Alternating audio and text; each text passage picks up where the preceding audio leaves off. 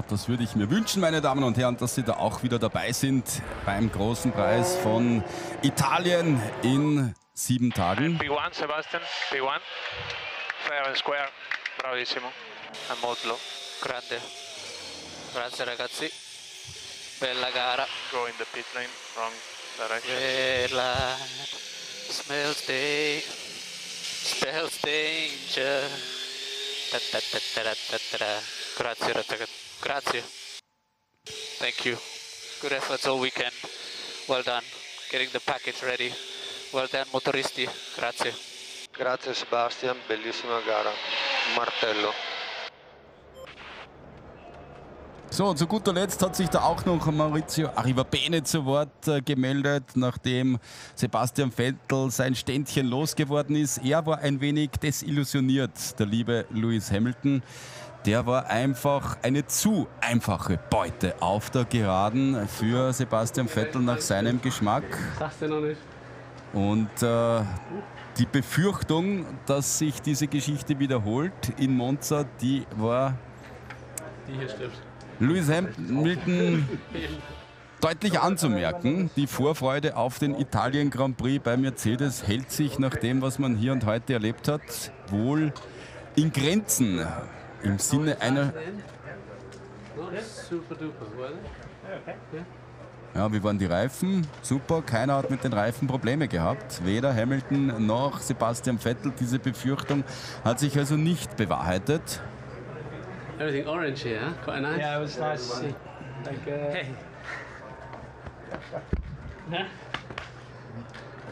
Ja, viel Orange zu sehen, sagt Sebastian Vettel. Das ist recht nett für Max Verstappen, der hier auf die Unterstützung der vielen holländischen Fans zählen konnte und irgendwie auch Belgier ist. Die Mama ist Belgierin und der Max selbst ist ja auch in Belgien geboren. James Allison, ja, da müssen sie sich was einfallen lassen damit man vor allem in Sachen Straight Line Speed wieder mithalten kann mit Ferrari. Denn ansonsten wird es auch in Monza nicht viel zu holen geben, zumindest keinen Sieg.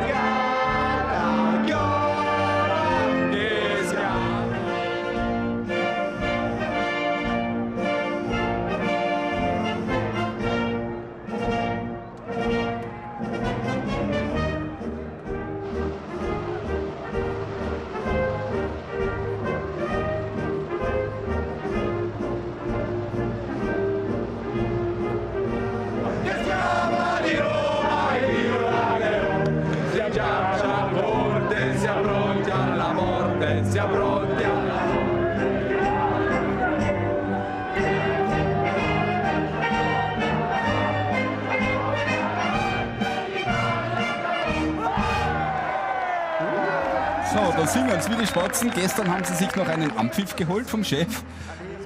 Jetzt sind sie alle wieder gut drauf.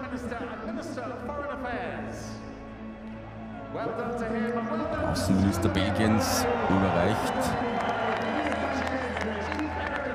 den Pokal. Der ist da in Anlehnung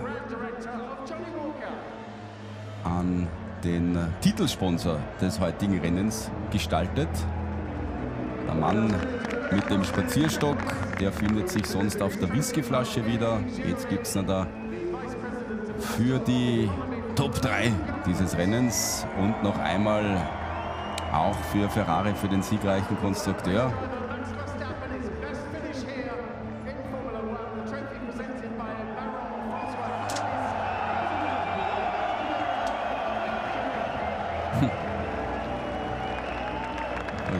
Schwester von Max Verstappen, die blonde Dame da im Vordergrund.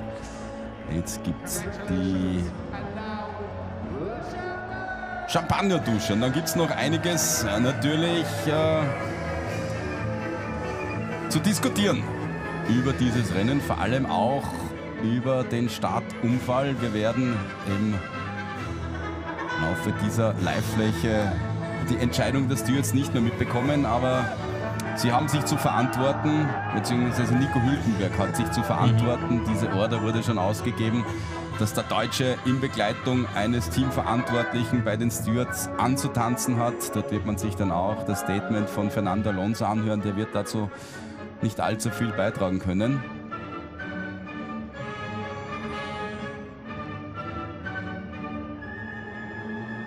Das ist diesen dreien relativ egal, würde ich mal sagen.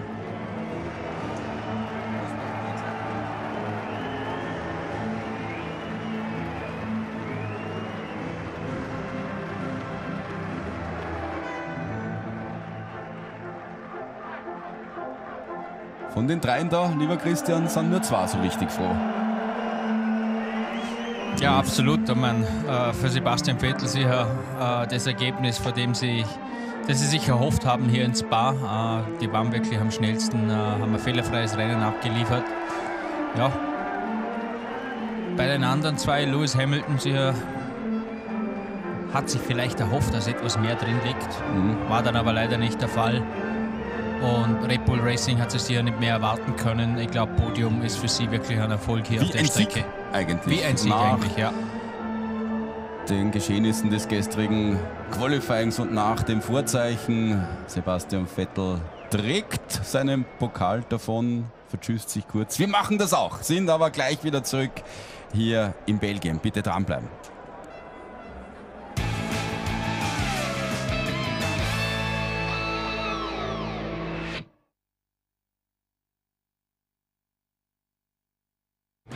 Heute live in ORF Sport Plus. Die ersten Nachtrennen der DTM-Geschichte. Rasen die Österreicher Lukas Auer und Philipp Eng aufs Podest. Showdown auf der kurvenreichen Rennstrecke in der italienischen Emilia Romana. Die DTM live. Heute 22 Uhr. ORF Sport Plus. Donnerstag live in ORF Sport Plus mit voller Power in die neue Champions Hockey League Saison. Gleich im ersten Spiel kommt der zweifache Champions League Gewinner aus Schweden nach Wien. Vienna Capitals gegen Frölunda Indians. Donnerstag 20.15 Uhr live in ORF Sport Plus. Das gab's noch nie. Das härteste Quiz Europas.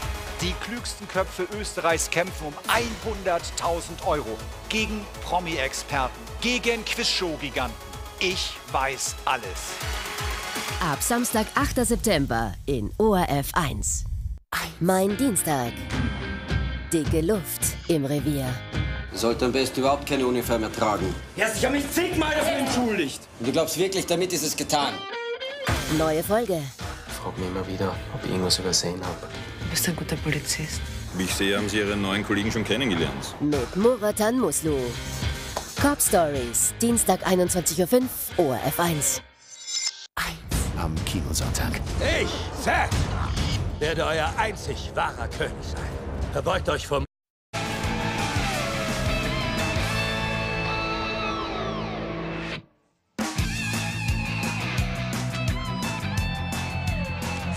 Vettel fährt zu Saisonsieg Nummer 5 nach Australien, Bahrain, Kanada und Großbritannien gewinnt der Deutsche auch den großen Preis von Belgien. Ein Rennen, das mit einem Aufreger, mit einem Knalleffekt begonnen hat. Der Startcrash ausgelöst von Nico Hülkenberg. Wir können uns die Bilder noch einmal ansehen und uns die Frage stellen, was ist denn da in den Deutschen gefahren?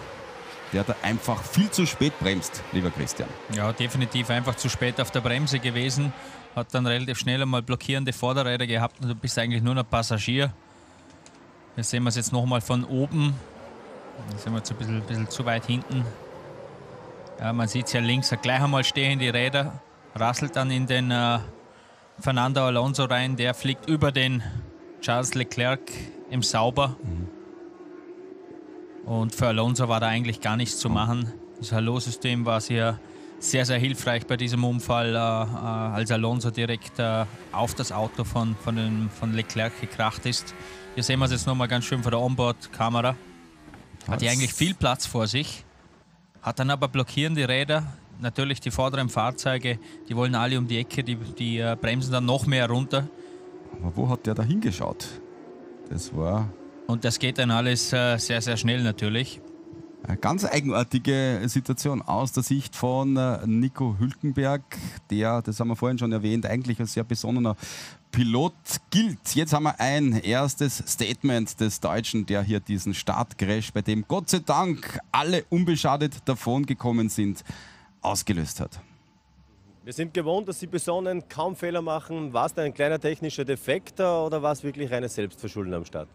Nee, nee, kein technischer Defekt. Ich glaube einfach äh, heute von hinten kommend wurde ich einfach mm, von daher gehend ein bisschen überrascht, wie wenig Grip man hat hinter all den Autos. Die, die sogenannte Dirty Air fühlt sich da irgendwie noch mal schlimmer an und, und der Grip, äh, als ich auf die Bremse ging, war sehr, sehr wenig und ich habe direkt halt vorne beide, beide Reifen blockiert und konnte dann auch nichts mehr retten. Aber ja, einfach verschätzt heute. Ähm, und grober Schnitzer und ist natürlich äh, sehr, sehr bitter und enttäuschend für, für die Kollegen, aber natürlich für mich selber auch. Darf auch einmal passieren, aber trotzdem war es wahrscheinlich ein nicht angenehmer Moment, da die Kettenreaktion zu beobachten. Nee, genau. Also das will man nicht. Also wenn man Fehler selber macht und sich selber rausnimmt, dann ist das immer eine Sache. Wenn man dann die Kollegen natürlich mitnimmt, das will keiner, ist auch nicht berechnend und äh, ja, ist äh, ja, nicht, nicht gut gewesen heute. Sind Sie seit heute Fan von Hello? Da gab es ja viel Kritik, äh, bei Leclerc hat es äh, gegriffen. Äh, ich habe das noch nicht so gesehen im Detail. Die Reifen werden wahrscheinlich vom Alonso auf den Kopf. Okay. Ja, kann ich nichts zu sagen. Alles Gute, danke. danke. Er war ursprünglich kein Fan von Hello. Er war einer, der sich da lange quergelegt hat und heute wahrscheinlich auch äh, seine Position von damals noch einmal überdenken wird. Aber im Grunde genommen sehr, sehr faire, ehrliche und sympathische Worte von Nico Hülkenberg, der da ähm, keine Ausreden sucht. Nein. Er sagt, mein Fehler und besonders leid tut es mir für die Kollegen, die ich da rausgerissen habe, allen voran Alonso und Leclerc. Ganz genau. Ich meine, das kann passieren, äh, so ein Fehler. Äh, die Vorderräder blockieren schneller mal. Hat sich da verschätzt, hat, hat einen Fehler anerkannt, hat sich entschuldigt, erledigt geht weiter. Mhm.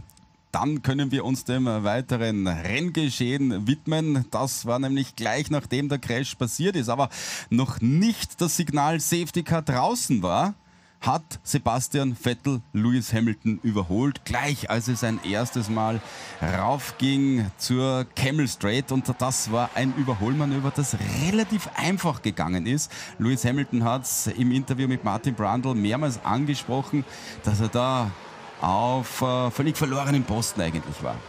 Ja, da hat er eigentlich keine Möglichkeit gehabt, äh, Lewis Hamilton hier irgendwas abzudecken. Das war praktisch unmöglich. Sebastian kam eigentlich extrem gut durch. Schau, hier Radio mhm. rauf, da kommt er schon mit deutlich mehr Speed, setzt sich hier neben, neben Lewis und ist dann äh, schneller mal vorbei. Für ihn war glücklich, dass die Safety Car, das genau. Safety Car nach dem Überhol mhm. oder das Signal nach dem Überholmanöver erst rausgekommen ist. Das haben wir in der vorhergehenden Einstellung gesehen, dass dieses äh, Signal, diese Mitteilung der Rennleitung erst aufgeschienen ist, als das Feld schon durch die Lecom-Schikane durchgefahren ist. Genau. Dann wurde erst Safety Car ausgerufen und daher konnte er mehr oder weniger straffrei dieses äh, Überholmanöver durchziehen, Sebastian Ja. Vettel. Für mich ein bisschen verwunderlich, weil das war ja eigentlich sofort klar, dass hier Safety Car rauskommen muss bei der Starkkarambolage, wo so viele Autos involviert sind. Äh, Da hat man aber doch etwas länger gewartet und das war der Vorteil von, von Sebastian. Ich bin gespannt, was Toto Wolf nach diesem Rennen zu sagen hat, das für Lewis Hamilton mit Endplatzierung 2 ausgegangen ist. Valtteri Bottas auf Rang 4 vorgefahren. Bitte, Christian Dindorfer. Die Plätze 2 und 4 am Ende für Mercedes. Toto Wolf, ihre Befürchtungen sind wahr geworden, dass Sebastian Vettel gleich zu Beginn dann Lewis Hamilton vorbeizieht. Die Vorentscheidung eigentlich im Rennen. Ja, da waren wir eig- eigentlich wehrlos. Äh, es ist wieder D-Zug vorbeigefahren und aber auch dann im Rennen waren sie das, waren sie das schnellere Auto. Also der Sebastian hat hier total ver- verdient gewonnen, so schwer mir, so schwer mir das fällt, das zu sagen. Einmal gab es noch die Möglichkeit durch den Boxenstopp, da war man eine Runde früher dran, hat auch aufgeholt, aber war der Max Verstappen störend? Hat sich das ausgewirkt? Nein, überhaupt nicht. Ähm, Der, der Vorsprung, den er hatte für den Stopp, war ausreichend, aber es war unsere einzige Chance, dass wir gedacht haben, wir gambeln, vielleicht macht er, haben sie einen langsamen Stopp, aber eigentlich von der Pace hat es nicht gereicht. 17 Punkte ist noch, der Vorsprung ist etwas geschmolzen. Was bleibt denn unterm Strich nach diesem Rennen? Bottas ja auch mit einer Aufholjagd auf Platz 4 beachtlich letztendlich. Ja, das wäre gut. ähm, Das war gut, äh, weil Kimi auch nicht gepunktet hat, aber trotzdem, was bleibt, ist ein Gefühl, dass wir einfach ähm, nicht stark genug waren. Was heißt das für Monza? Ja, aufholen. Aber ähnlich die Kräfteverhältnisse. Sind die einfach jetzt schneller diesen Tick? Ja, die sind schneller, die sind schon seit einiger Zeit schneller. Bleibt auch so. Wir werden mal schauen, dass wir das ändern. Dankeschön. Das ist dann schon bemerkenswert. Die letzten drei Rennen hier vor dem heutigen Tag hat Mercedes gewonnen, sechs Poles in Serie hier in Spa-Francorchamps eingefangen und äh, dann ist man mh, ganz klar, so wie es jetzt auch Toto Wolf äh, nicht beschönigend bestätigt hat, nur mehr zweite Kraft auf dieser Rennstrecke, die einst in der jüngeren Vergangenheit ganz eindeutig als Mercedes-Strecke galt. Genau, also der Motorenvorteil von Mercedes ist definitiv weg. Da hat Ferrari aufgeholt, da hat Ferrari Mercedes überholt. Äh, Ferrari hat letztes Jahr schon ein gutes Chassis gehabt, hat ein guten, gutes Aerodynamikkonzept gehabt und äh, das haben sie ja nach wie vor die, in diesem Jahr noch und haben somit eigentlich äh, Mercedes überholt jetzt. Jetzt geht es natürlich in die zweite Saisonhälfte, da heißt es, weiterhin neue Teile ins Auto zu bringen und natürlich auch als Team und aus, auch aus Fahrersicht das fehlerfrei zu überstehen. Und da hat meistens in den letzten Jahren Ferrari die Fehler gemacht oder waren da eher anfälliger. Jetzt äh, bin ich gespannt, was Mercedes einfällt in den nächsten Wochen. Äh, Ich gehe mal davon aus, dass es nicht allzu viel ist bis äh, nächsten Freitag. Da stehen die freien Trainings in Monza an. Ich glaube, da kannst du nicht allzu viel machen. Es nach, oder wieder eine Highspeed-Strecke. Da wird mit noch flacheren Flügeln gefahren bei Ferrari und Mercedes. Ferrari hat den Motorenvorteil momentan, also ich sehe die da wieder ganz vorne. In Sachen Weltmeisterschaft ist das Ganze natürlich für uns neutrale Beobachter hochinteressant. Der Vorsprung des Lewis Hamilton ist geschrumpft auf äh, 14 Punkte und Sebastian Vettel, der gilt als ein Pilot, der immer in der zweiten Saisonhälfte bärenstark aus der Sommerpause zurückkommt. Er hat hier 2013 einst einmal den Grand Prix gewonnen und das war der Startschuss zu seiner Rekordsiegesserie. Neun Siege in Folge. Kein Formel-1-Pilot in der Geschichte hat mehr Siege aus Wied gefeiert. Auch da hat er hier den Grundstein äh, gelegt, schlussendlich dann zum Titelgewinn wieder 2013. Nach dem, was wir- was wir an diesem Wochenende erlebt haben, ähm, ich weiß, du hast auf Hamilton gesetzt, aber äh, überdenkst du das Ganze noch einmal? Wird die ganze Geschichte WM äh, spannender, als wir uns das zu Saisonbeginn gedacht haben? Ja, also es wird definitiv spannend. Äh, Die Ausgangslage ist für den Titelkampf eigentlich perfekt. Sebastian etwas hinterher, also der muss jedes Rennen attackieren, die müssen Punkte holen. Und ja, es wird, es wird spannend. Die sind auf Augenhöhe, fahrerisch auf jeden Fall. Äh, und jetzt gilt es einfach, keine Fehler zu machen. 17 Punkte sind es, habe ich jetzt äh, fälschlicherweise 14 gesagt, 17 Punkte sind es, die äh, Lewis Hamilton nach wie vor vor äh, Sebastian Vettel liegt, aber es wird eine ganz, ganz, ganz enge Angelegenheit. Schauen wir mal, was der zweite Mercedes-Pilot in diesem Rennen gemacht hat, dass er von der vorletzten Startreihe aus eröffnen musste. Auch der war in ein Startscharmützel verwickelt, musste dann sehr, sehr früh einmal gleich nach der ersten Runde in die Box. Bei ihm hat sich das zugetragen. Er ist da auf äh, Sergei Sirotkin aufgefahren. Ja, auch hier leichter Verbremser gehabt, fährt er auf Sirotkin auf. Hier eine ganz heiße Szene, Juno Rouge geht hier außen an. Brendan Hartley war das, glaube ich, vorbei. nächste Überholmanöver Mhm. am Sauber, recht unspektakulär mit DRS. Aber er hat natürlich ein spannendes Rennen gehabt, hat viele Überholmanöver äh, machen können, hat sich hier durch das äh, Feld mehr oder weniger gepflügt. Also ihm wurde auf jeden Fall sicher nicht langweilig. Hier vergeht er noch an, am Haas vorbei. Und schlussendlich hat er dann auch noch äh, die beiden Force India überholen können, Esteban Ocon und zu guter Letzt Checo Perez. Und dann ist er auf Rang 4 angekommen. Valtteri Bottas, auch für ihn natürlich Schadensbegrenzung nach dem Grid Penalty und nach dem Zwischenfall in der Startphase. Der Finne, ich nehme an, ist zufrieden mit diesem Rennausgang. 30 laps on Supersoft was surprising for me, for you too. 30 Runden auf Supersoft, das war eine Überraschung, oder? Ja, für mich auch. Wir haben das nicht erwartet. Es war natürlich Blistering, aber es war nicht so arg und darum ist es gegangen. Ganz am Anfang Kontakt mit Sirating. Wie schlimm war das? Ja, ich war überrascht, wie schnell ich bremsen musste und dann war ich zu spät. Vierter Platz, das Maximum, was heute drin war, glaube ich schon.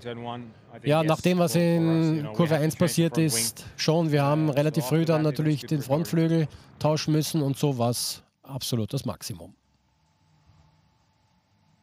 auch er da verwickelt in einen Auffahrunfall. Auch Mhm. bei ihm war es ähnlich, natürlich nicht so gravierend wie bei Nico Hülkenberg, aber ähm, war doch irgendwie ähnlich der Unfall gelagert. Auch er hat es Mhm. einfach übersehen.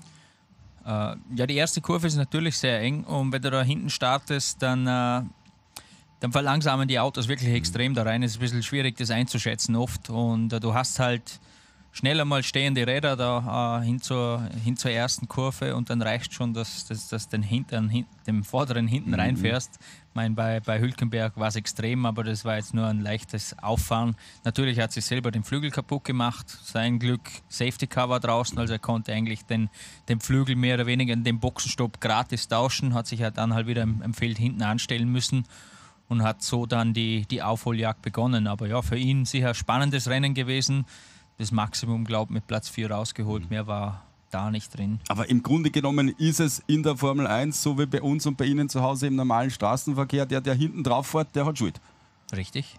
In dem Fall also Schuld. So it is, ja. Valtteri Bottas. Und weil wir gerade diese ähm, Startkollisionen ein wenig auflösen wollen, blicken wir auch auf die Geschichte Daniel Ricciardo gegen Kimi Räikkönen. Der Finne da völlig frei von Schuld, aber auch Daniel Ricciardo ist da unschuldig zum Handkuss gekommen, kommt ein Pferdl geflogen, kann man da sagen, so oder so ähnlich. Das Der nicht, reißt der ihm da den Heckflügel ab. Und dann fährt ähm, Ricciardo in das Heck von Kimi Räikkönens Ferrari. Ja, da war noch ein Toro Rosso auf Jetzt der stockt rechten der Seite. Atem ein bisschen. Warum, lieber Christian? Mir? Ja, also, du ganz äh, angespannt. Ist so hast du heiß diese, diese Szene noch einmal verfolgt.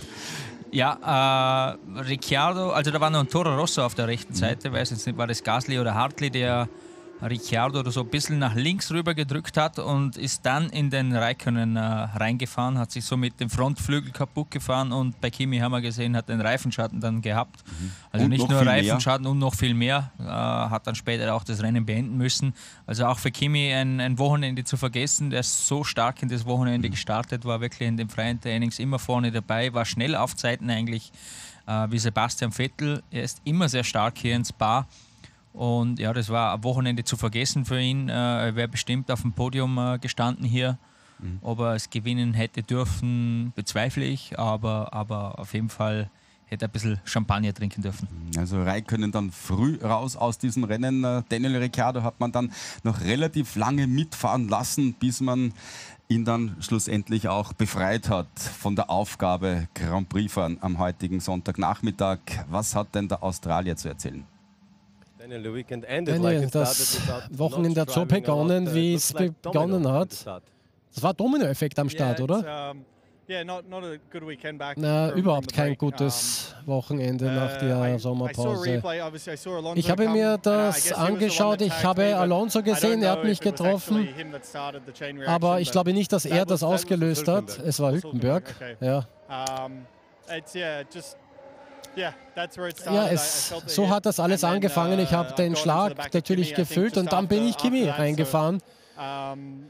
Ja, war natürlich nicht gut und blöd, dass dir das so früh im Rennen passiert. Ich habe natürlich dann noch gekämpft, draußen geblieben, aber der Schaden war zu groß. Das Team hat alles probiert. Wir haben zwei Runden lang verloren, aber was soll's.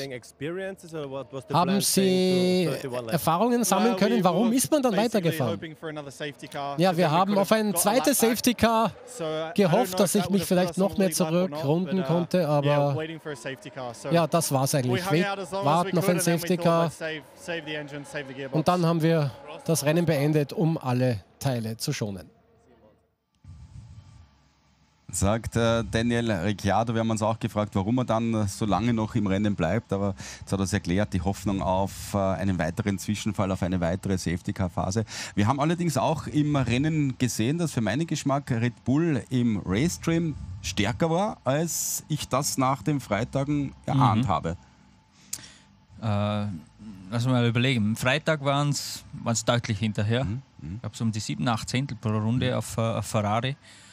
Und jetzt waren sie äh, also wirklich stark unterwegs, mhm. stellenweise auf, auf gleichem Niveau äh, wie Ferrari und Mercedes vorne. Hätte sicher nicht gereicht, um hier um den Sieg mitzufahren, aber, aber deutlich stärker wie erwartet. Mhm. Äh, ich glaube, mit dem äh, dritten Platz für Max ist es eigentlich für Red Bull auf der Strecke, wo, wo einfach der Motor so ausschlaggebend ist wie ein Rennsieg. Und da können sie definitiv extrem zufrieden sein. Und das hat man auch im Gesichtsausdruck von Max gesehen. Mhm. Jetzt können wir uns äh, die Verstappen-Manöver ansehen. Ocon, den er da am Ende der Camel Straight überholt. Der RB14 ist wirklich ausgezeichnet gelaufen und zu guter ja, es ist wirklich ein tolles Manöver ja. gewesen. Ocon versuchte innen abzudecken, war aber nicht konsequent genug, konsequent genug, ging beim Anbremsen wieder nach links rüber. Wieso er das gemacht hat, weiß ich nicht. Somit hat er die Tür offen gelassen für den Max Verstappen, der natürlich sehr aggressiv immer fährt und sticht da sofort rein. Dann die kommt auch schon der nächste. Gleiche Stelle, allerdings fährt er diesmal Perez. auf der anderen Seite vorbei. Hier hat er aber deutlich äh, mehr Speed-Überschuss und kann ja auch außen ganz klar und ganz einfach hier an Perez hm. vorbeigehen. Äh, Red Bull war hier deutlich schneller als der Force India im Renntrim. Hier sehen wir es nochmal von der Onboard. Ja, das war recht hm. unspektakulär.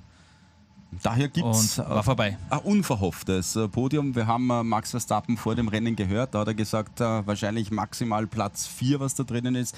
Es ist der dritte geworden und das freut, nehme ich an, auch Helmut Marko. Helmut Marko eingedeckt von Orange. Glückwunsch zu Platz 3. Platz 4 wäre das Maximum, hat er gemeint, Max Verstappen. Letztendlich alles aufgegangen. Ja, und wir waren selber überrascht. Wir haben eigentlich den gleichen Speed gehabt wie Mercedes, nur in der Anfangsphase haben wir das verloren und unser Reifenverschleiß war deutlich besser. Also noch ein paar Runden und dann hätte Hamilton seine Reifen wechseln müssen. Also alles in allem sehr zufrieden, aber halt leider im Training haben wir es vermasselt und mit Ricciardo, der Schaden war einfach zu groß, das hat keinen Sinn mehr gemacht. Jetzt haben wir aber gemeint, vom Speeder kommen wir nicht mit. Das sieht jetzt dann doch wieder etwas versöhnlicher aus, wie Sie gesagt haben. Wäre das Qualifying besser gelaufen, hätte man eventuell sogar Druck noch auf die beiden da vorne ausüben können. Ich glaube, wir hätten äh, Hamilton unter Druck setzen können. Äh, Vettel war zu schnell, aber Hamilton war eine Möglichkeit. Was waren die Überlegungen bei Daniel Ricciardo? Da gibt es Sprechchöre für Helmut Marko, äh, ihn dann noch draußen zu lassen. Dementsprechend bis Runde 31, glaube ich. Äh, wenn eine Safety-Car-Phase gekommen wäre, hätten wir die Zurückrundung geschafft, dann wären vielleicht Punkte möglich gewesen. Aber wie dann das klar war, da geht nichts mehr, dann haben wir aufgehört. Sie werden gefeiert, als hätte Red Bull gewonnen. Also, die holländischen Fan, weil wir den Verstappen reingeholt haben. Ist klar, genießen Sie es, danke. Danke. So, jetzt ist er auch bei den Niederländern. Eine ganz große Nummer, Helmut Marko, mit den äh, Sprechchören auch er natürlich viel versöhnlicher, als er es war nach dem gestrigen Qualifying, mhm. das da ziemlich daneben gegangen ist aus Red Bull-Sicht. Ja, definitiv. Also gestern, ja, das, das, das Qualifying Q3 ist definitiv mhm. ins Wasser gefallen für Red Bull Racing Die haben sicher auf Regen gehofft, um irgendeine Chance zu haben, im Qualifying besser dazustehen. Und das haben sie äh, leider vermasselt äh, mit einer falschen Strategie.